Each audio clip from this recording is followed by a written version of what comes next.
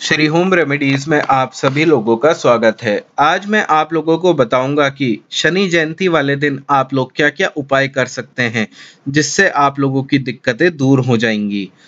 शनि जयंती की शाम को आप लोग पीपल के पेड़ के नीचे तिल या सरसों के तेल का दीपक प्रज्वलित करें। ऐसा करने से शनिदेव की कृपा आप लोगों के ऊपर सदैव बनी रहेगी। शनि की ढैया से ग्रसित व्यक्ति को हनुमान चालीसा का सुबह और शाम जब अवश्य ही करना चाहिए। शनि जयंती से आरंभ कर चीटियों को लगातार सात शनिवार तक काले तिल, आटा, शक्कर मिलाकर खिलाएँ। ऐसा करने से आप लोगों के घर में अगर कोई भी नकारात्मक ऊर्जा होगी तो वह अवश्य ही दूर चली जाएगी।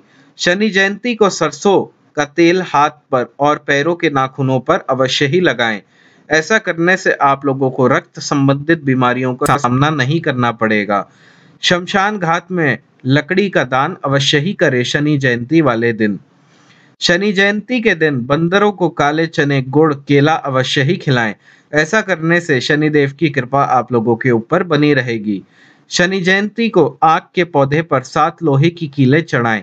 काले घोड़े की नाल या नाव की कील से बनी लोहे की अंगूठी मध्यमा उंगली में शनि जयंती को सूर्यास्त के समय आप लोग धारण करें। ऐसा करने से आप लोगों के ऊपर शनिदेव का अगर बुरा प्रकोप होगा तो वह धीरे धीरे समाप्त होने लगेगा। शनि जयंती को काले उड़द पिसवाकर उससे आटे की गोलियाँ बनाकर मछलियों को खिलाने से आप लोगों की अगर नौकरी नहीं लग रही है तो जल्दी ही आप लोगों की नौकरी लग जाएगी। बहते पानी में नारियल विसर्जित करने से कारोबार में आप लोगों को वृद्धि दिखाई देगी। शनि जयंती पर सरसों के तेल का छाया पात्र दान करने से आप लोगों को कभी भी धन संबंधित दिक्कत नहीं आएगी। शनि जयंती को दस बादाम लेकर हनुमान जी के मंदिर में जाएँ। पाँच बादाम वहीं रख दे और पाँच बादाम घर लाकर किसी लाल वस्त्र में बांधकर धन स्थान पर रख दें। ऐसा करने से आप लोगों को धन संबंधित दिक्कत नहीं आएगी। पुराना जूता शनि जयंती के दिन चौराहे पर रख के आने से भूत प्रेत इत्यादि अलाबला नहीं आती है।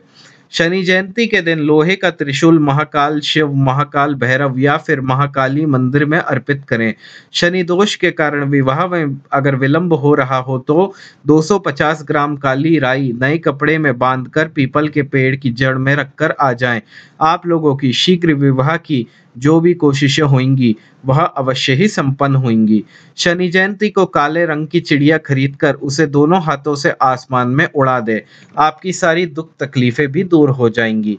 अभी के लिए बस इतना ही। अगर आप और ज़्यादा जानकारी चाहते हैं तो हमारा channel Shri home remedies subscribe कीजिए। धन्यवाद।